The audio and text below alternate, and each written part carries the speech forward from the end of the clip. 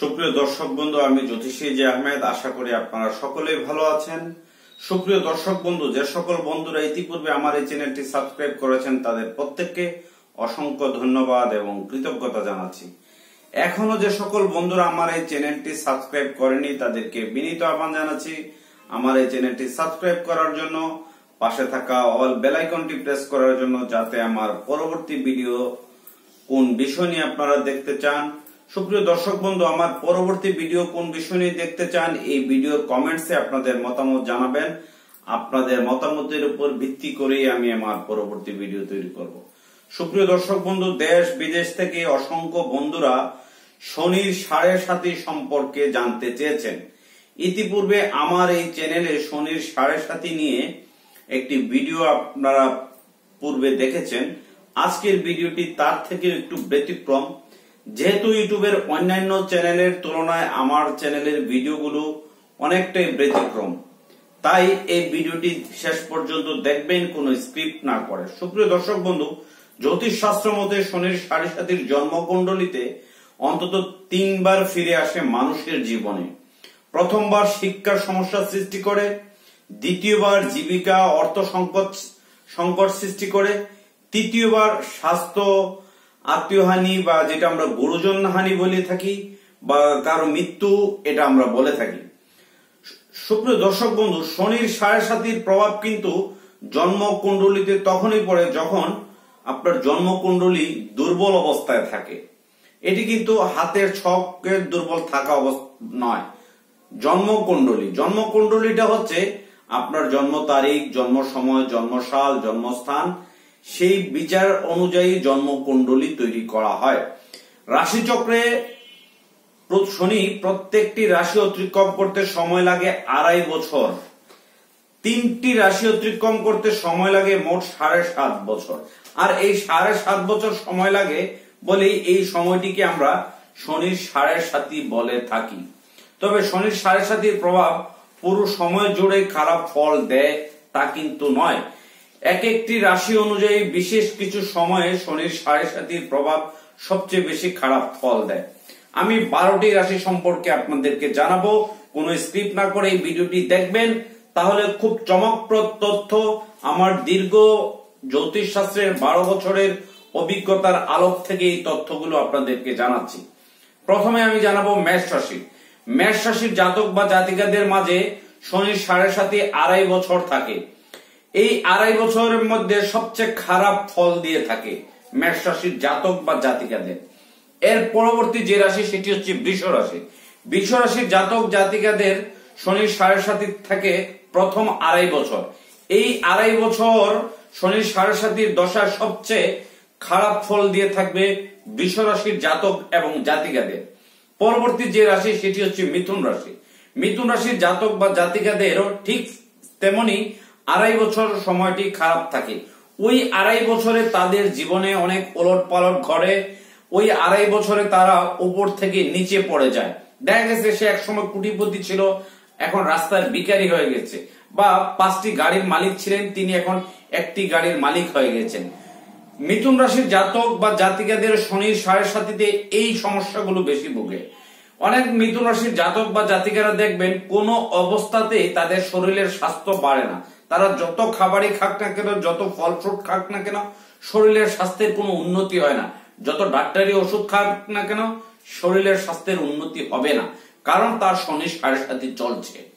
পরবর্তী যে রাশি, সেটি হচ্ছে কর্কট রাশি। আর এই কর্কট রাশি জাতক বা জাতিকাদেরও শনির সাড়ে সাথে আড়াই বছর থাকে। তাদের প্রথম আড়াই বছরে তারা ভুল বুঝাবুঝির শিকার হয়। বিবাহিত জীবনে সমস্যার সৃষ্টি হতে পারে। স্বামী বা স্ত্রীর মাধ্যমে বিবাহিত জীবনে সমস্যার সৃষ্টি হবে ডিভোর্স হতে পারে, ভুল বুঝাবুঝি হতে পারে, প্রেমিক, প্রেমিকার সাথে সম্পর্ক বিচ্ছিন্ন হতে পারে, ভাইয়ের সাথে হলে ভাইয়ের সাথে সম্পর্ক বিচ্ছিন্ন হতে পারে, পিতা পুত্রের সাথে সম্পর্ক বিচ্ছিন্ন হতে পারে, আত্মীয় স্বজনের সাথে অফিস কলিগের সাথে পার্টনারশিপ ব্যবসায়িক লোকের সাথেও বিচ্ছিন্ন হতে পারে। টোটাল কথা হচ্ছে, কর্কট রাশির সেই জাতক বা জাতিকাদের শনির সাড়ে সাতির আড়াই বছর তাকে একবারে নিচে নামিয়ে ছাড়বেই। পরবর্তী যে রাশি সেটি হচ্ছে সিংহ রাশি। সিংহ রাশির শনির সাড়ে সাতি থাকে আড়াই বছর। কোন আড়াই বছর থাকে?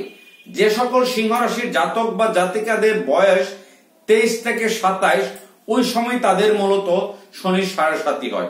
তেইশ থেকে সাতাইশ বছর বয়সে যখন শনির সাড়ে সাথী হয়, তখন তার শিক্ষা জীবনে ব্যাঘাত সৃষ্টি হতে পারে।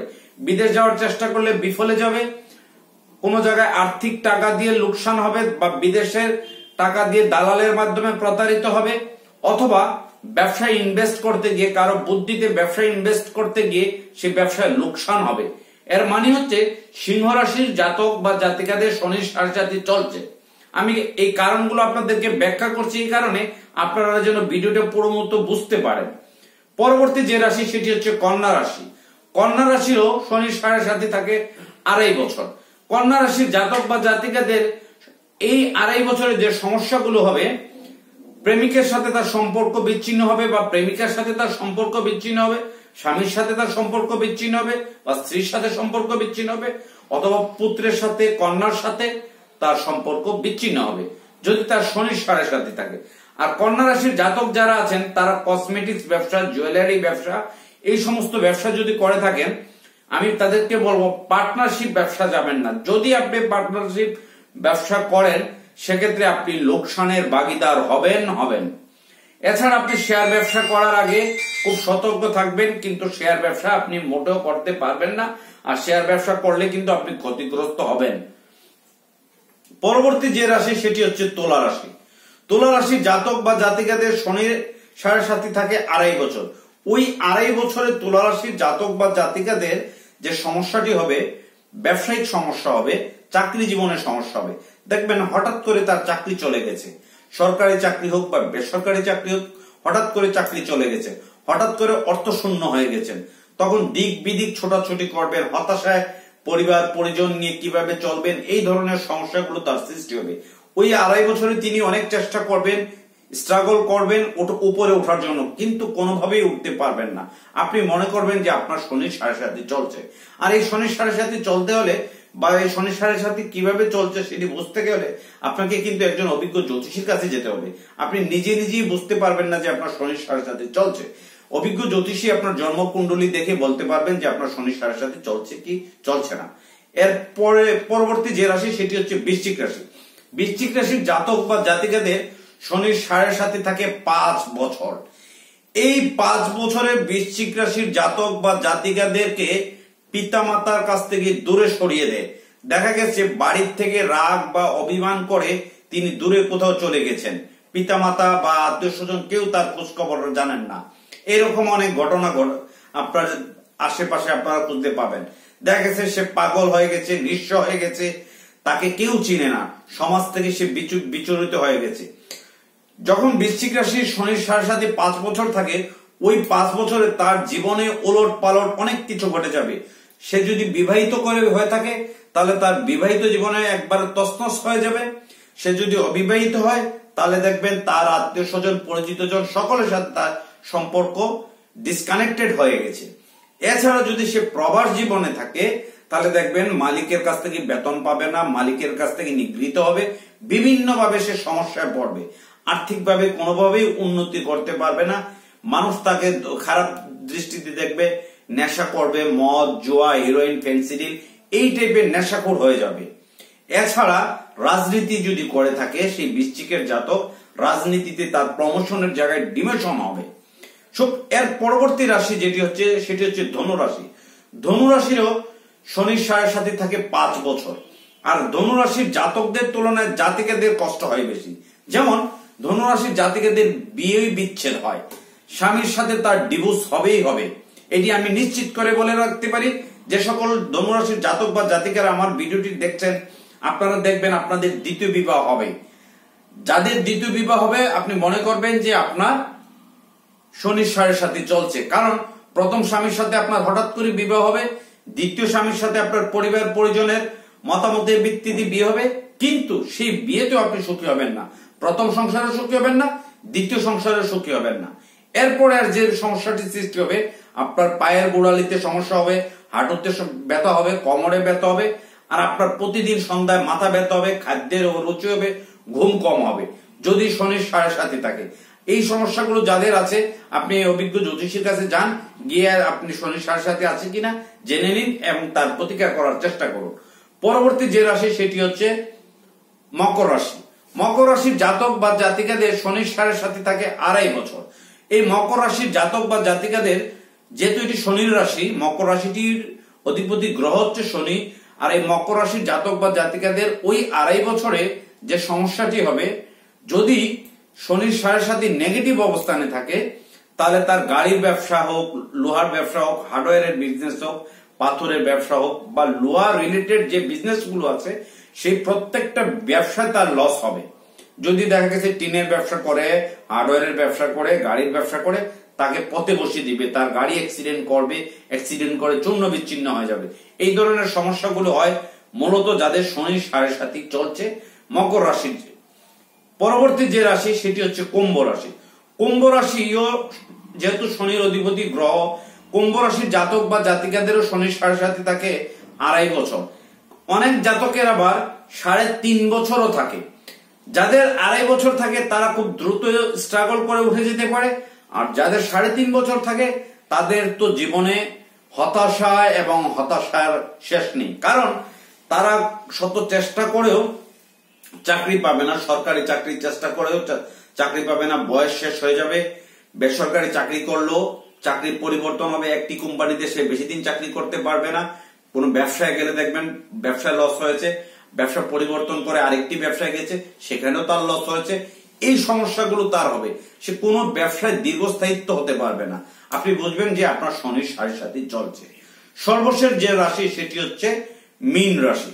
মীন রাশির জাতক বা জাতিকাদের শনির সাড়ে সাথে থাকে পাঁচ বছর। আর এই মীন রাশির জাতক বা জাতিকাদের, যেহেতু বৃহস্পতি অধিপতি গ্রহের রাশি, যদি তাদের বৃহস্পতি ভালো থাকে আর শনি গ্রহটি তাদের ডিসফেভারে থাকে, আর শনি সাড়ে সাথে থাকে, তাহলে সে একটি স্থান থেকে রক্ষা পাবে বৃহস্পতির কারণে। মানুষ তাকে সম্মান করবে, মানুষ তাকে ইজ্জত করবে, কিন্তু তার পকেট থাকবে ফাঁকা।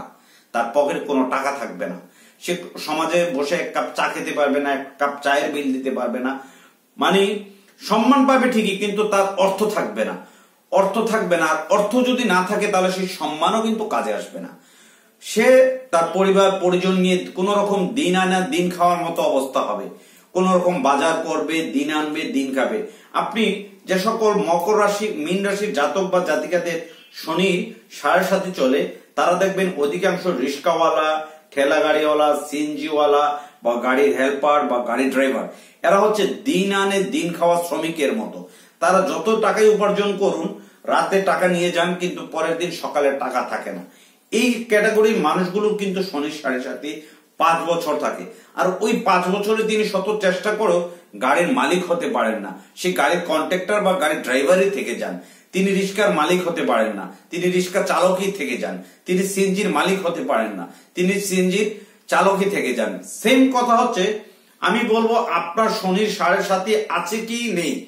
এটি আপনি জানতে হলে একজন অভিজ্ঞ জ্যোতিষীর কাছে যেতে হবে। আর বাংলাদেশে বর্তমানে জ্যোতিষীর নামে এক ধরনের প্রতারণা চলছে। অনেক জ্যোতিষী আছে আপনাকে ভয় দেখিয়ে তার পকেট ভারী করার জন্য বিভিন্ন ধরনের রত্নপাথর সাজেস্ট করে থাকেন। আমি বলব শনির সাড়ে সাতির জন্য প্রত্যেকটি রাশির নির্দিষ্ট কোনো পাথর নেই। নীলা পাথর পরা যেতে পারে, কিন্তু নীলা পাথর পড়ার আগে আগে দেখতে হবে আপনার জন্মকুণ্ডলিতে নীলা কোন ঘরে অবস্থান করছে। তাহলে আপনি নীলা পাথর পড়বেন আর যে কোনো রত্নপাথর পড়ুন না কেন, আগে দেখবেন যে রত্নপাথরটি সঠিক কিনা রত্নপাথরটি কোয়ালিটি ভালো, ফুল কিনা রত্নপাথরটি শোধন করা আছে কিনা বা শোধন করতে হয় কিনা, বা কীভাবে শোধন করতে হয়, আপনার শরীরের ওজন, আপনার বয়স অনুযায়ী কত ক্যারেটের আপনার এই রত্নপাথরটি প্রয়োজন সেটি জেনে নেবেন। এবং এই রত্নপাথরটি কত বছর পর্যন্ত আপনার অ্যাডজাস্ট করবে শরীরে, সেটিও জেনে নেবেন। না জেনে, না বুঝে রত্নপাথর পরে নিজের বিপদ নিজে ডেকে আনবেন না।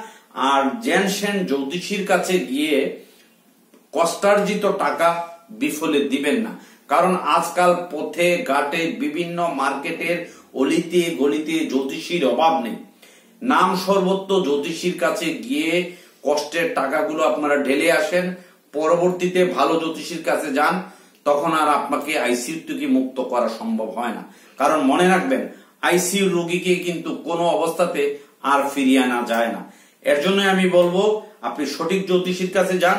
যাদের জ্যোতিষ শাস্ত্রে দীর্ঘদিনের পদচরণা আছে, যারা জ্যোতিষ শাস্ত্র সম্পর্কে জানেন, যাদের জ্যোতিষ শাস্ত্র সম্পর্কে নাম, ডাক আছে, তাদের কাছে যান।